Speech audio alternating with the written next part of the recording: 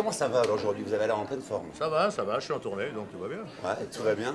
Tous les petits, les petits parce qu'on en a parlé hein, de cette histoire. Ouais, quoi. non, mais vous savez, bon, tout ça a été un petit peu exagéré. Et comment vous expliquez qu'on en ait autant parlé? Bah, vous savez, la presse, il faut bien qu'ils vendent, du- il faut bien qu'ils vendent du papier. Ouais. Ils, sont- ils se sont inquiétés quand même, hein, ils se sont inquiétés. Ouais, je crois que c'est les fans surtout qui sont inquiétés. Bah, tout le monde s'est inquiété. Mais bon, mais non, ça va très bien. Ouais. Ça va très bien.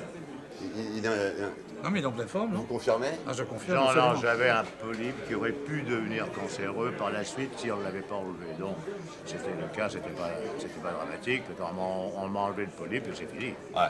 Voilà, c'est tout. Bon, donc la route continue. En fait, il est, il est éternel ce garçon. Ben oui, pas de raison. Hein On est tous comme ça, de- nous, les, les gars de l'époque. Vous aussi éternel Ah ouais. Pas de souci. C'est ça, c'est ça le rock'n'roll, ça rend éternel. Je devrais me mettre au rock'n'roll. J'ai Bah peur oui. de mourir moi. Vous avez peur de mourir Ouais. Vous inquiétez pas, la route est, la route est belle. Pas de Johnny. Mourir, c'est quoi On continue là-haut Ils doivent faire la fête là-haut.